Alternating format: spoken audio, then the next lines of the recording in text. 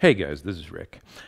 After Friday's video of looking at the Bitcoin BTC narrative and how it really doesn't stand up to standard, I thought we were going to take a little bit more positive note and look at what the adoption path for Bitcoin is. Because understanding how Bitcoin or cryptocurrency in general will come to dominate the economy is absolutely key to guiding development efforts and support efforts toward that adoption path.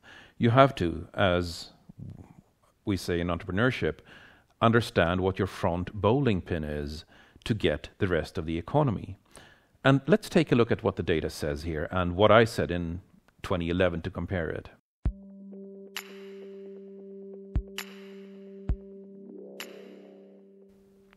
So, Bitcoin, which I'm using as a general term for cryptocurrency at large here, has an enormous potential to bring liberty, particularly from governments and central banks, which are effectively a fourth branch of government beside the executive, judicial, and legislative branches.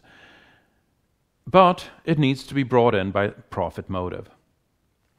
Liberty through profit motive. This is the guiding star that needs to guide development support, and basically everything we do as a community. And let me explain why. In 2011, I outlined a number of things in Bitcoin as I discovered it. Some of those things were Bitcoin's four opportunities, four drivers for uptake, and I also listed four hurdles. Interestingly, when I listed four hurdles, usability was at the top, but scalability was not even in the list of four hurdles because I considered it trivial to change the block size limit at the time. What do you know? Some things can be socially constructed even if they're not technical problems. But in order to get this liberty, we must be razor focused on the adoption path. The adoption path. How are we going from where we are to a society where everybody uses Bitcoin or cryptocurrency in general? What is the path from A to B? And it's okay to be wrong. It's okay to have to backtrack a little, but you need to have that goal of being off the top of the mountain. You got to see that summit ahead of you. And it's okay to imagine a path and have to backtrack a little to take a different path, but you got to be clear on your direction. Our direction is nothing short of having a comprehensive Bitcoin economy where somebody can pay wages in Bitcoin, pay rent in Bitcoin, have their entire life outside of the central banking system. Because as we know, it's going to come down at some point or other, at which point this is going to be, this needs to be ready. This needs to be ready. It's like this meme we saw in um, last week what are you trying to tell me that I can trade my Bitcoin for millions someday? And Morpheus, no, Neo.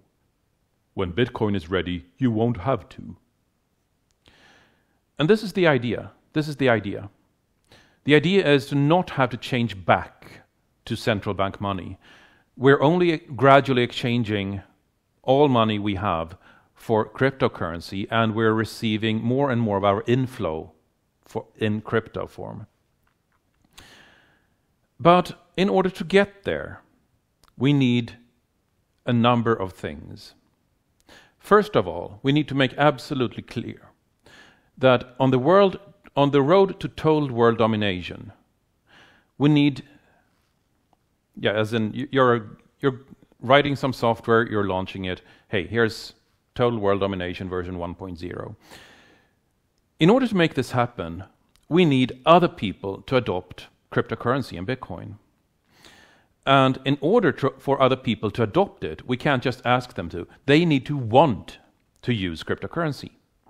And therefore, we need to identify the reasons they are going to be adopting cryptocurrency and Bitcoin. This takes a little bit of going outside the box because they are not going to use our reasons. Our reasons are, hey, this is cool tech, and wow, I can buy pizza with this, and hey, look at all the, all the exchange rates going way up to the moon, and sound money, and censorship resistance and sound money and so on and so forth. But other people will not be concerned with this. They don't care about security, they don't care about censorship resistance, they do not care about decentralization. Other people have three reasons for changing their current money flow into a different money flow, because that requires effort. Change requires effort. Change is a cost. In order for people to take that cost, you need to justify it. They have three reasons for taking this cost profit, more profit, and even more profit, in that order. In other, way, in other words, if we want people to adopt Bitcoin and cryptocurrency, and we do, then we need to put ourselves in their shoes and see how they can profit, who can profit, and how can they profit. This requires a little bit of entrepreneurial thinking, which is essentially the business equivalent of empathy. You put yourself in somebody else's shoes and see where they can save costs. They are not going to run something or change something or take a cost because you want them to. They're going to take a cost because they can make a profit from taking that cost down the road. So, where can you make a profit from using cryptocurrency? That is the million dollar question, or as it would be, the trillion dollar question. Contraband is the first, or was the first case with Silk Road.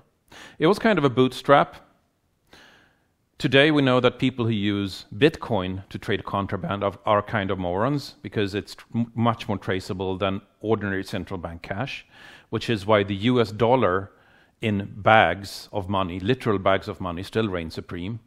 There are privacy focused coins. I predict there will be a market for at least one privacy focused coin in addition to a gen more general use coin in the future. But still, contraband has been a profit reason. But it's a relatively small market.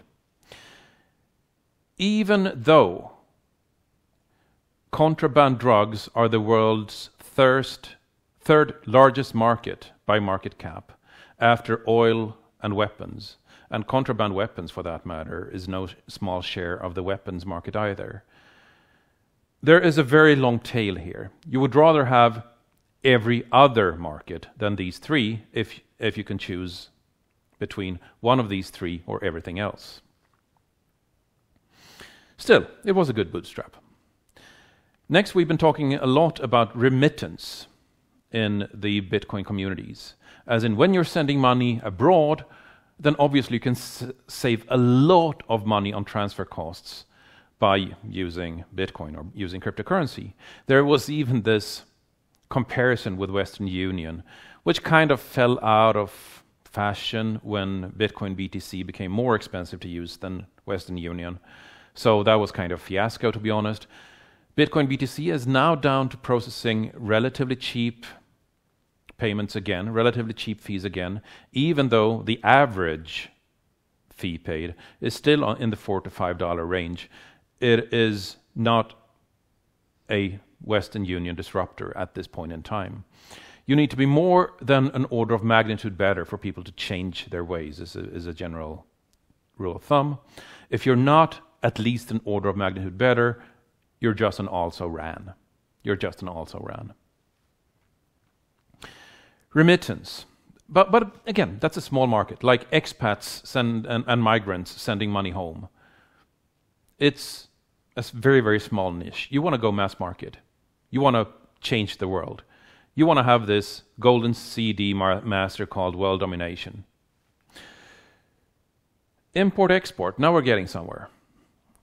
The, when buying goods from China, the clearance for money is actually really, really cumbersome. You need to present a letter of credit in the, in the Chinese port, and banks can take ten thousands or even hundreds of thousands of dollars to clear a payment, and it takes six to eight weeks the, here's an obvious reason to use cryptocurrency instead.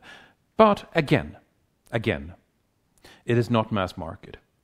This does not touch everybody. We need something that touches everybody. And that something is credit cards. Credit cards. A credit card company, when you're paying with a credit card, the credit card company and the general overhead takes 2 to 4% on every transaction, straight off the top. This is a middleman that can be eliminated, or a chain of middlemen that can be eliminated when using cryptocurrency. And it's important to here to remember that this is off the top. The typical profit margin for an online for any merchant is 4 to 5%. This means that online merchants stand to double their profit margin, double their profit margin just by accepting another form of payment. And this is where you start thinking in entrepreneurial terms. This is start, when you start thinking in terms of who can profit from what I have here and how can I help them profit? Because obviously, if you can help them profit, you can take a small share of it, yeah, right? That's how it works.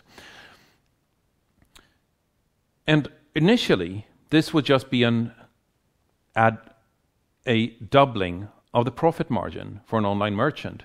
But over time, once enough merchants adopt, this will turn into a competitive advantage on price. That if you're accepting Bitcoin, you can get a lower price and put your, push your profit margins down to a healthy 4 to 5%, but have a lower price than all the competition, which puts you in a better seat, which again drives up your profit margin. So, I am arguing that this one scenario, online merchants, that is cryptocurrency's front bowling pin. Because at that point, at the point when online merchants are pushing down the price to a new equilibrium where they have 4 to 5% profit margin, then credit cards will be priced out of the market. This scenario is our front bowling pin because this leads to adoption pressure in other segment. This leads to adoption pressure. Once you take the front bowling pin, then you'll see pressure start to fall because merchants will want to not change money back into central bank money. If they have money in Bitcoin, that creates adoption pressure outward from the front bowling pin. That's how a front bowling pin works in adoption theory. So once merchants start cutting exchanges out of the loop in order to eliminate the spread losses from cryptocurrency exchange to central bank money and, and back again, then more and more segments will get included in the ecosystem from there. And they will go through the same cycle of starting out with something small, eliminating a loss, and gradually growing. That's how we get to this scenario. That's how we get to the point where bitcoins will be worth millions, but you'll never ever need to trade them back for central bank money because other people have helped change and shape the ecosystem to a point where it's no longer necessary. Involving those other people and helping them profit from doing so is absolutely crucial. And that's how we create liberty through profit motive. It's noteworthy that the easiest way to transfer money between two banks is still the ridiculous notion of withdrawing money in one bank and walking on foot to the second bank and depositing it again. This is the world we have been competing against. This is the world we have been competing against. However, the window is closing. The window is closing. And this is absolutely crucial to understand. Bitcoin and cryptocurrency still have a window of opportunity, but it is closing because banks are waking up to the threat and they are adapting, and they are adapting very, very quickly now. In the Nordic markets, banking on mobile is instant and free, even across banks. Even across banks. Private banking is seen as completely free because rational economic actors act on the margin and there's no additional charge for every additional transaction. Yes, you have a fee for a yearly a fee for your account, but that's not how people think and that's not what counts on the margin. Banking on mobile for private use is instant and free. This beats Bitcoin. This is better than Bitcoin. This is a real threat to future Bitcoin dominance. And for merchants in this system, banks are charging 15 cents for transactions from mobile to merchants. That is where they get their ticks per transaction. That is where they cut the ticket. We need to be at least an order of magnitude better. Security doesn't cut it. decentralization doesn't cut it. Censorship resistance doesn't cut it. Only profit, more profit, and even more profit does.